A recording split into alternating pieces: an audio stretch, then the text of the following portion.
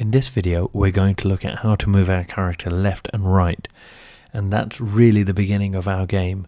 Later on, we'll think about baddies and maybe platforms that our character can jump up on, and all the other things that make games really cool to play. But we have to begin with moving our character. Now, you can really choose any keys to move your character. This level I'm going to get the crocodile to move with our left and right arrow keys and later on we'll work out how to do up, down and maybe even jumping. So let's begin. To begin controlling a character what I'm going to do first is just clean up the desktop here and just close down some of our tabs. When you want to work on anything in the game it's best to start at dashboard and then move to the places you want to go. So in this case I want to control our crocodile so I'm going to double click him and you can see here we have the animations. We're not going to talk about that in this video. What we do want to talk about is not behaviors. Now, if you download something from Stencyl Forge and you find a whole bunch of stuff here, well, it can work out well for you, but most of the time it's something that you don't want. So this is good in this case. We don't really have any behaviors. We'll talk about behaviors a lot later. What we actually want to talk about is events. Now, those of you who've used Scratch will instantly recognize these blocks over here and Stencyl, very much like Scratch, works on blocks, so you don't really have to ever type code in Stencyl. In Stencyl, we want to add events to our characters, our actors, and anything else that's in our game.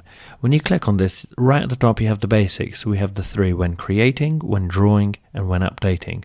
When creating only happens once when something is created. So, for example, you want a character to be on the left hand side of the screen, or you want a spaceship to be blue instead of red. So, you can do that there. When drawing is really talking about uh, writing on the screen. We're not going to worry about that now. So what we want to do is a when updating.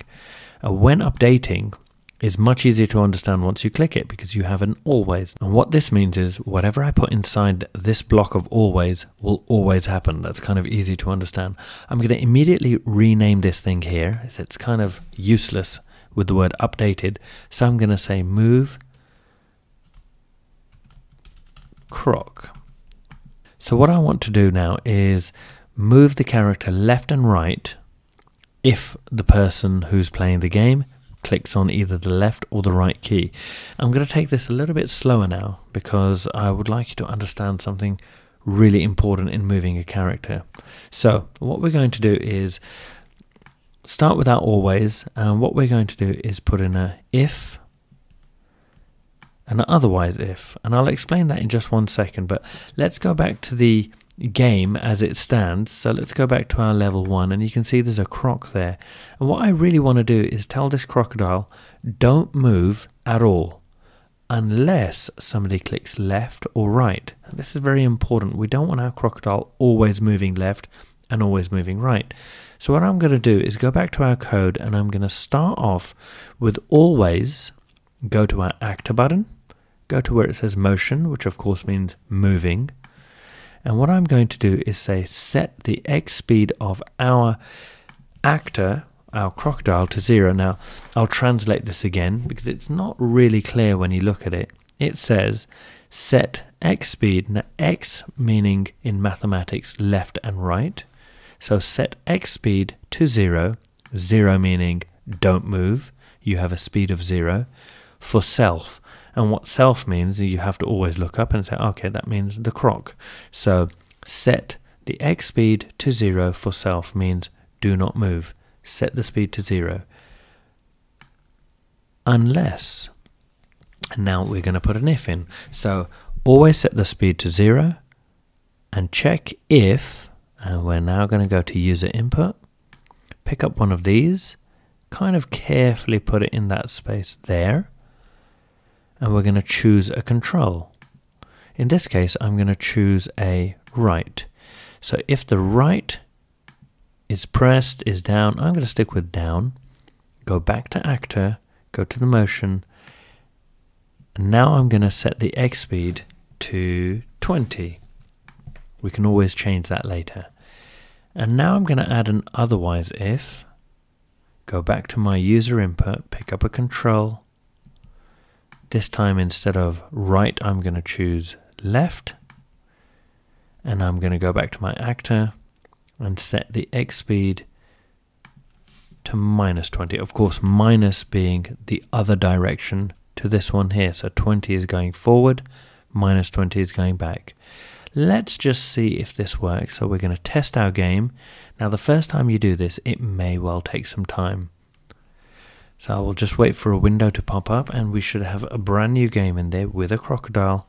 And here you can see we have our game, we have the background and we have the crocodile. Now I'm going to click left and I'm going to press the right key and you can see that our crocodile moves absolutely perfectly, really smooth.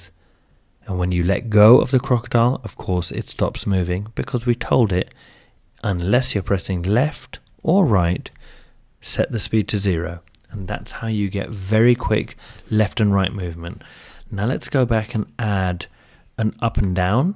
That's quite easy to do. So what we need to do is go back to our flow. We're going to put in an otherwise if and an otherwise if. Now, just to note, you should only ever have one if. And the rest of your ifs should be otherwise if. Now remember, an if is your computer will check to see if you're pressing the right Otherwise, it will check to see if you're pressing the left. Otherwise, it will check. so it must really be an otherwise. You can't really tell a computer to do two ifs at the same time. So let's go back to our user input. We'll throw in the control, choose a control. This time we'll choose up. We'll go to the actor's motion. Now, of course, left and right is X speed. So what we really want to do is now do the Y speed. Now up in Stencyl is really silly because you have to put a minus. Let's put that in there. And then lastly, what we're going to do is we're going to go back to our user input. Choose a control. This time it's going to be up. Excuse me. It's going to be down. Go to actor motion and we're going to set the Y speed to be 20, which is downwards, like so. Now you might have spotted a slight problem in that we've got x speed to 20 and x speed to minus 20 and yet at the start we've said if you don't click any of the buttons set the x speed to 0 we've now added y speed and y speed but we haven't told it to set it to 0 anyway. That's something we should fix right now.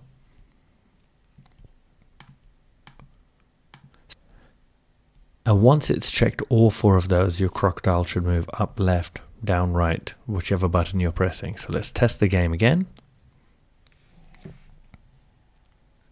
And what we really want to see is the crocodile not moving right at the start of the game. That will be kind of a good thing. So the crocodile should not be moving unless I tell it to. Let's press left, let's press right, let's press up, and let's press down. And you can see this crocodile is moving really well, It's very smooth. And now we have a working character and that's how you make a character move. In our next video, we'll change the behavior of our character or our actor so that instead of going up and down, we might have our character falling down because of gravity and jumping around on things so that we're making more of a platform game rather than a floating crocodile in space game.